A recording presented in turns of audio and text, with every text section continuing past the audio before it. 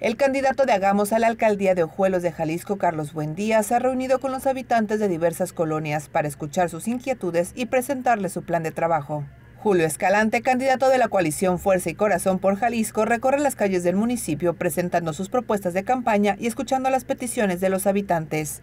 Juan Carlos Yazo, candidato de Movimiento Ciudadano, se ha reunido con habitantes de diversas colonias del municipio para escuchar las necesidades de cada colonia. Además, lleva a cabo la pega de calcomanías en las vialidades. Francisco Gómez López, candidato de Morena, se reunió con los habitantes de la comunidad de La Presa, donde se comprometió a velar por el bienestar del municipio. Asimismo, los habitantes le hicieron saber sus inquietudes.